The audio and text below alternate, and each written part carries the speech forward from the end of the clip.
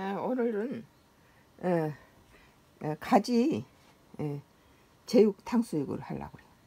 오늘은 이제 이 에, 휴일이고 가족들이 집에서 있잖아요. 에, 주일날이고 그래서 이거 이제 에, 목이버섯 지금 물에 담궈 놓은 상태고 이 가지를 텃밭에서 따다가 가지하고 예, 가지하고 어, 자색 고구마 제육 탕수예요. 오늘은 가지가 주체제예요.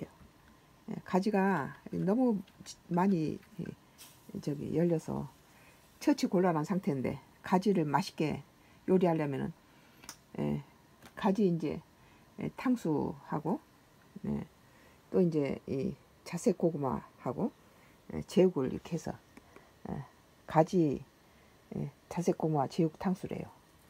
예, 고기는 큼직큼직 썰고 가지도 큼직하게 썰어요.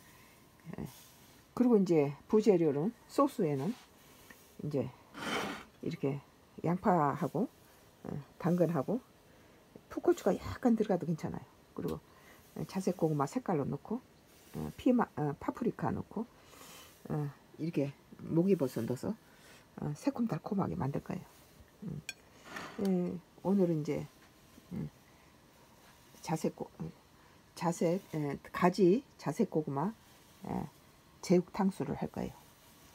에, 그래서 이제 요거 좀 음, 목이버섯이 이제 불리면은 커지겠죠.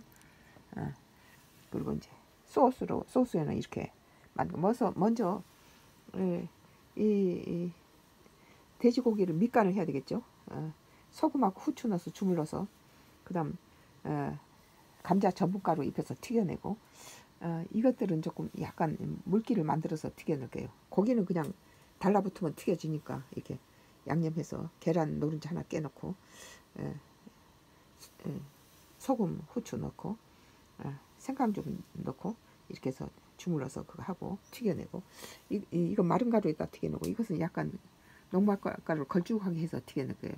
야채니까. 음. 오늘은 이제 에, 에, 에, 가지 자색 고구마 제육튀김을 할 거예요. 음. 어, 목이버섯은 이제 조금 시간이 갈수록 불어나겠죠. 음. 아주 맛있겠어요.